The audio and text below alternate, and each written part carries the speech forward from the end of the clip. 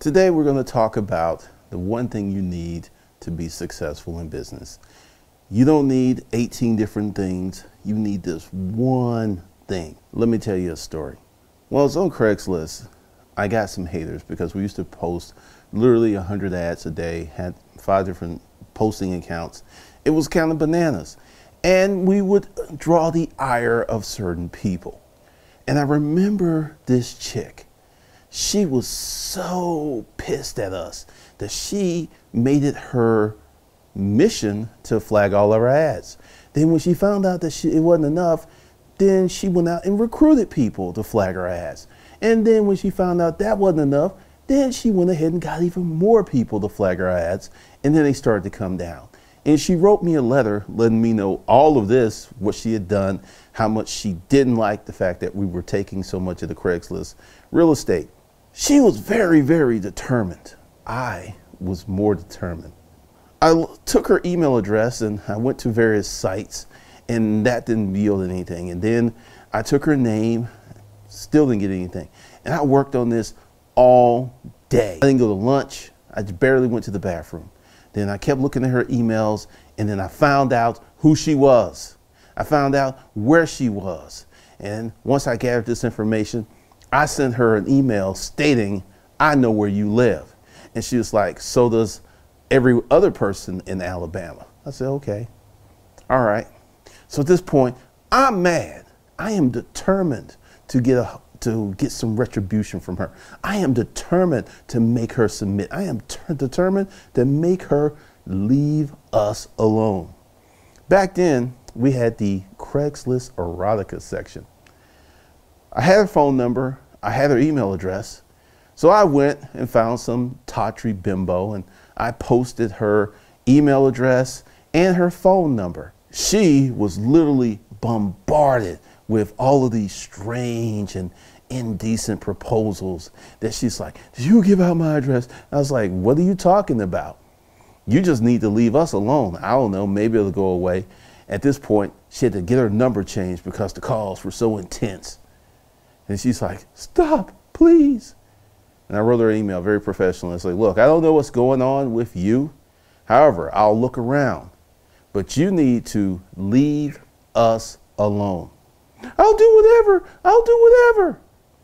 So I called off the dogs, and she never flagged another ad. No one else did anything. Now, what made that happen? Now, I know that sounds like a crazy story, and that sounds like I broke some laws, and essentially those laws were not in place when I did this, so I did not break them. What happened was I was determined. What you need in business is to be determined, to be pissed off, to be so, I don't care what these people say, I don't care what they're doing, I'm going to do this thing. When I was in the storage auction business, one guy's like, hey, don't turn this into a full time business. I turned into a full time business for almost 10 years because I was determined. Determined should not be conflated with passion. When someone did something to you and it was wrong and you want some get back, was that passion or was that determination? You need to dig deep into whoever you are, wherever you are, and find your inner determination, your inner pissed off person, and lead with that. Because I don't care how much money someone else has, I don't care what they're doing, but if you are like Genghis Khan, I will come for you. I am that determined. You will start to see some results. You will start to see some people like, um, I don't think I need to mess with this person uh, I think I need to get out their way or I need to assist them. You got to become that maniacal, crazy person. And I mean in a decent way, not in a legal breaking people's legs way. No, that's wrong. Don't do that.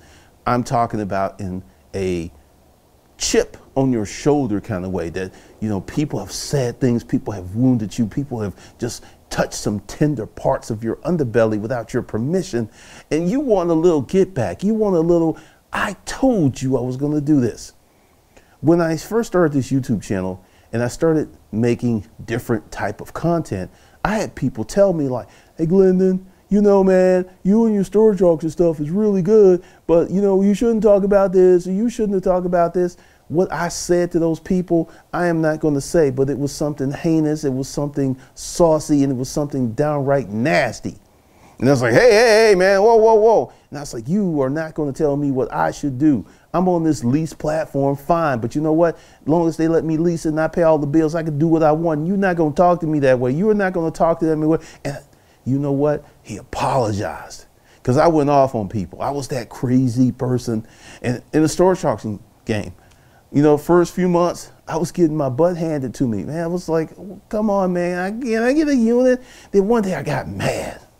I got pissed off. I got determined. Then I lit into someone and it's like, hey, hey, hey, hey, whoa, whoa, whoa, whoa. And don't, don't, don't be doing that, man. This is just fun and games. No, it ain't fun and games. I'm here to win. I'm here to get me some pretty units. I want to go home with some winners. I ran out of money, but I remember the power. I remember the fear. I remember that moment. I was like, okay, well, I'm gonna get me some more money.